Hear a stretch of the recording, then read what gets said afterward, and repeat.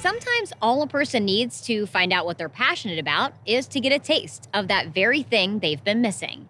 In Houston, there's a program that gives students an opportunity to see what it's like to become a scientist or an engineer in the exciting world of space exploration. Space Center Houston is the official visitor center of NASA's Johnson Space Center.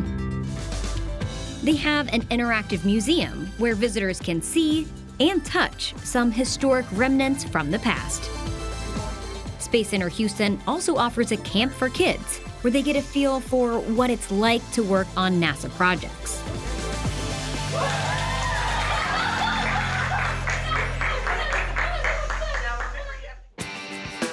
This week, there's a group from Trinidad and Tobago. Right now, they're competing with robots that they've built and programmed themselves. They're learning about computer science and coding along with engineering design as they design a robot to traverse Mars, so to speak. And what's really unique about that is we tie in what NASA's actually doing with Curiosity on Mars. And they're excited, which is awesome. They work in teams, just like they would for any NASA project. A major piece of exploration is looking and finding something that just intrigues you and, and gets at your heart. We want to show students that they can contribute. No matter where they start, you can contribute to science. Programming these robots requires STEM skills like engineering and math. Okay, so you got it going forward, so we figured that out. Adjust your turning radius. One mission of Space Center U is to inspire students who might be interested in pursuing a career in space exploration.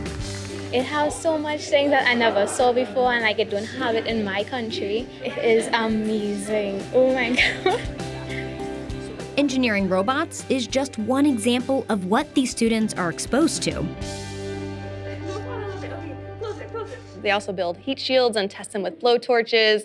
They get to build cryogenic capsules, just the space is a really cold and extreme environment, and they test them in liquid nitrogen. Tomorrow, they tour the neutral buoyancy laboratory where the astronauts train in the giant swimming pool, this training facility.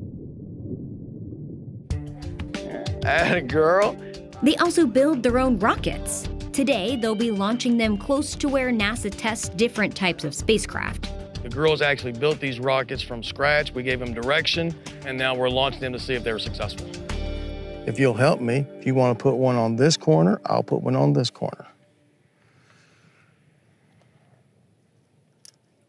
You are a professional at this. You're doing so well. Good job. You must have launched rockets before. All right.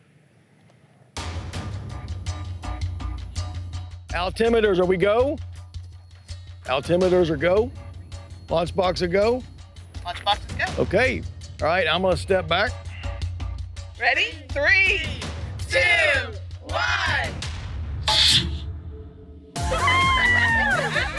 Perfect launch, ladies. Outstanding. You walk out of here with that confidence knowing you can do this. You can do space exploration. You can do science. Space Center U shows that science can be both rewarding and a lot of fun. Very nice. Ladies, that was exceptional. Every single rocket launched exactly the way they were supposed to. NASA would absolutely be proud of you. Good job, ladies. As we've seen today, there are different ways young people can get a head start in the field of space exploration, like going to a space themed camp. I want to be a biological scientist and a NASA astronaut.